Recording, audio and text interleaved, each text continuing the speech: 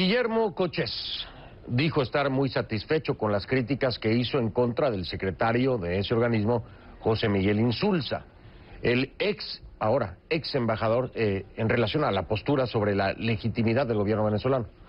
Claro que hacer eso sin autorización del gobierno le costó su puesto. Ayer era embajador, hoy es ex embajador. Y precisamente ayer dijo ante la OEA que su cuestionamiento ya lo habían hecho otros sectores. Escuche. La OEA entera se ha vuelto cómplice involuntaria de lo que ocurrió ese 10 de enero, de ser cierto los cuestionamientos hechos sobre esos eventos. De no hacer nada ante este, esta potencial violación de claros preceptos de la Carta Democrática, propondría, queridos colegas, que busquemos la forma de ir clausurando ordenadamente y para siempre esta organización. Poco después de esas palabras, el presidente de Panamá, Ricardo Martinelli, calificó las opiniones de Coches como muy personales. Dijo que el Estado no compartía las críticas hechas por el funcionario. Esto fue lo que dijo. Nosotros no compartimos esa opinión del embajador de Coches. Igualmente el Estado panameño no las comparte. Eh, son opiniones muy personales de él. Eh, ya la Cancillería ha dado un comunicado al respecto y yo espero pues que eso clarifique nuestra posición. Hoy, Coches reiteró que no se arrepentía porque consideraba que Insulza se había adelantado a convalidar los hechos sucedidos en Venezuela cuando Chávez no pudo asumir su mandato por estar convaleciente en Cuba. Precisamente aquí en Panorama Mundial nos acompaña Guillermo Coches, ahora ex embajador de Panamá en la OEA, está en vivo desde Washington. Señor ex embajador, gracias por estar con nosotros, bienvenido. Bienvenido, gracias a ti. Fernando, es un placer estar con ustedes y poder compartir con la vasta audiencia que tienen, tienen toda la América y en el mundo. Y, déjeme decirle que ha causado mucho ruido y que eh, en redes sociales, particularmente yo puedo hablar de mi cuenta eh, en Twitter, F del Rincón CNN, han estado pidiendo esta entrevista, así que, quiero aprovecharla en una franca y abierta plática. ¿Por qué decide usted dar una opinión personal cuando sabe que representa a un país ante la Organización de Estados Americanos?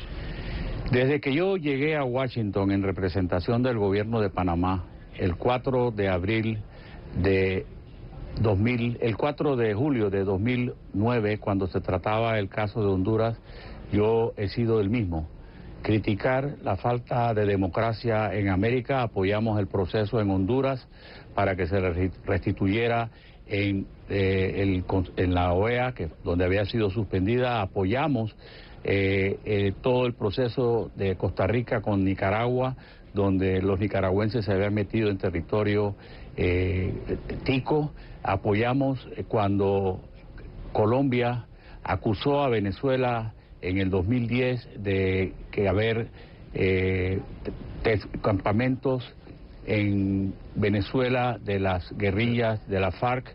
Eh, nosotros apoyamos todo eso y siempre el presidente Martinelli, sobre todo en el caso de Honduras, en el caso de Paraguay, siempre nos felicitó. Jamás recibí instrucciones, yo manejaba mi misión no solamente en lo político, sino en todas las actividades que o sea, lo voy a interrumpir, o sea que sus, sus comentarios, me estaba dando toda esta referencia histórica, para entender que sus comentarios nunca tuvieron que ser consultados con el gobierno de Martinelli en ningún momento, siempre se respetó su, su, su dicho.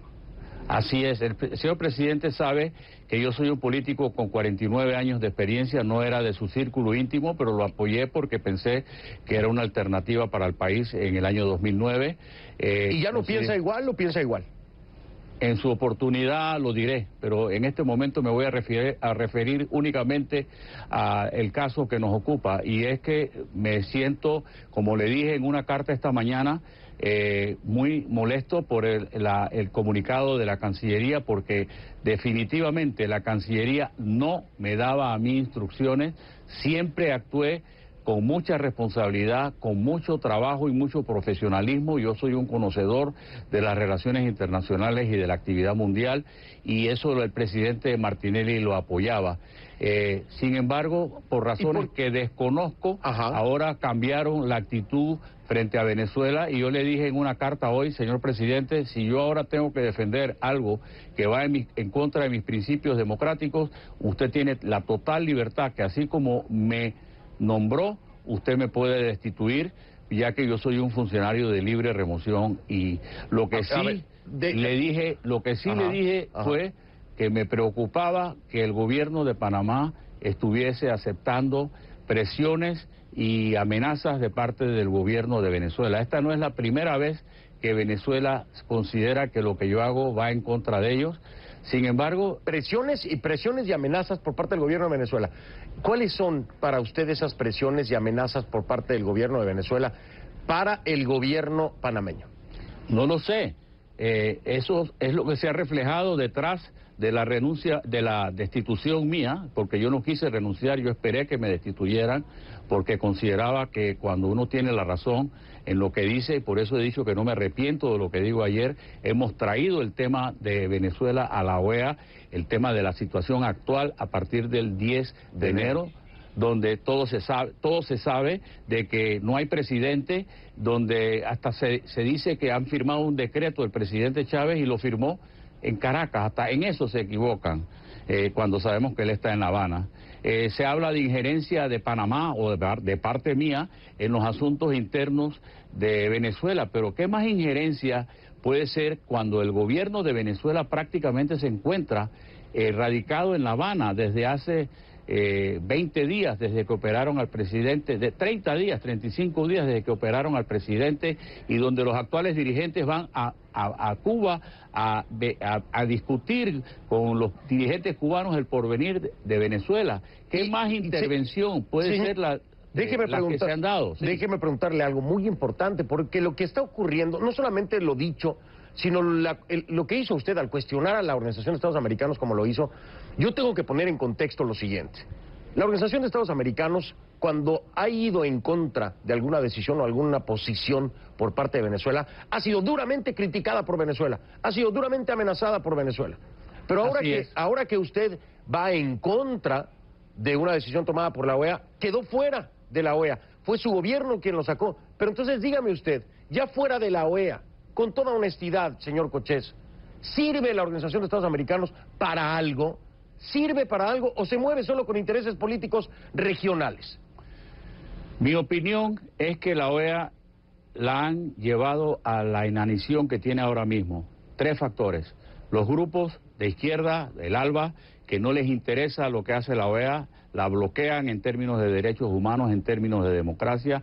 Los grupos que como Brasil eh, eh, lo único que les interesa son la protección de sus intereses económicos y grupos que son democráticos, auténticamente democráticos como Chile, pero que quedan en un silencio total. Mientras eso ocurra, la OEA no va a tener ningún porvenir porque nadie se quiere comprometer.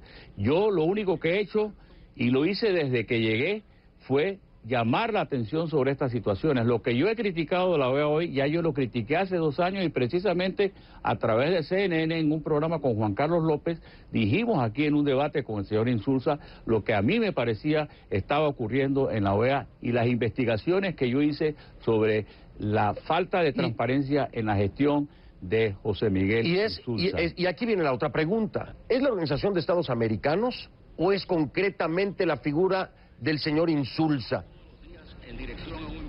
Es toda la organización. los países que, como mencioné, se mueven por intereses económicos o intereses políticos o simplemente se quedan callados y la actuación del presidente, del secretario general de la OEA, José Miguel Insulza. No debe de extrañarnos que el señor Insulza se adelantó a estas declaraciones avalando lo ocurrido el 10 de enero en, en, Venezuela porque teme que iba a crear olas si dejaba que este asunto no fuera resuelto, sino por él.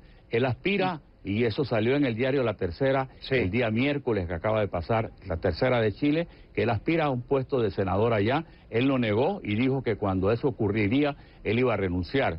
a pregunta mía. Sin embargo, no me extraña que detrás de todo esto esté la figura de Insursa que no quiere problemas porque quiere preservar su posición en, en Chile como senador del Partido Socialista. Ese es, ese es un, un tema delicado que ya seguramente generará otras reacciones, así que creo que tendremos que hablar muy seguido, señor Coches. Hay reacciones, si me lo permite, le voy a pedir a la producción rápidamente, porque ya habló el vicepresidente Nicolás Maduro, habló al respecto de lo que ocurrió ahí en la OEA con usted precisamente, y me gustaría su comentario acerca de esto. Si lo podemos escuchar, por favor, lo Claro tenemos sí. listo y, y- y me da su comentario. Vamos a escucharlo. En este momento nos acaba de llegar esta noticia que el gobierno del presidente Martinelli de Panamá acaba de sacar el decreto destituyendo al embajador de Panamá en la OEA. Nosotros humildemente le damos las gracias al presidente Ricardo Martinelli de parte del presidente Hugo Chávez, de parte del pueblo de Venezuela. ¿Qué le parece esta reacción, además de los aplausos, claro? Eh, la verdad es que si supieras que la, el comunicado de ayer, donde el gobierno quitaba su apoyo a mis declaraciones, fue distribuido hoy a todas las delegaciones de la OEA, ¿sabes por quién? ¿Por quién? Por la misión de Venezuela. ¿Puedes creer eso? Eh, el señor Maduro, es lógico verlo hablando, miente. Y miente porque él habla de una persona que no puede hablar a nombre del presidente Chávez, que todos sabemos está en condiciones que no puede caminar, no puede respirar. Eh, sabrá Dios que con estos abusos del poder de parte de los que hoy están en el gobierno, lo único que les interesa es alargarle su vida aunque siga sufriendo porque no le respetan su dignidad ¿Cómo sabe como usted? persona. ¿Cómo sabe usted que no puede hablar y no puede caminar, señor? Bueno, esas son las informaciones que se oyen. Lo único que oímos decir de su hermano es que no está en coma. ¿Creen que eso es una información? ¿Creen que eso es rendición de cuentas? ¿Creen que eso es democracia? Lo que hay ahí es algo muy diferente a lo que hubo en Brasil con Dilma Rousseff, con lo que hubo en, en- en Paraguay con el presidente Lugo, lo que hubo en Colombia con el presidente Santos. Yo creo que los pueblos se merecen saber y conocer la salud de sus presidentes. Y eso yo lo dije en la OEA el 11 de diciembre, cuando todos, al llevarse a- a- al presidente Chávez a, a Cuba otra vez, todos llegaron a aplaudir y a pedirle que se mejorara. Yo dije, sí, ojalá se mejore, pero también le exijo al gobierno de Venezuela que le informe a su gente lo que le han estado ocultando, porque ese es un derecho ciudadano. Señor Cochés, yo le agradezco mucho la deferencia con CNN en español, con un servidor, y habernos acompañado y escucharlo aquí en eh, Panorama Mundial. Es usted muy amable y enviamos un saludo en Washington. A usted, muchas gracias. Gracias, gracias.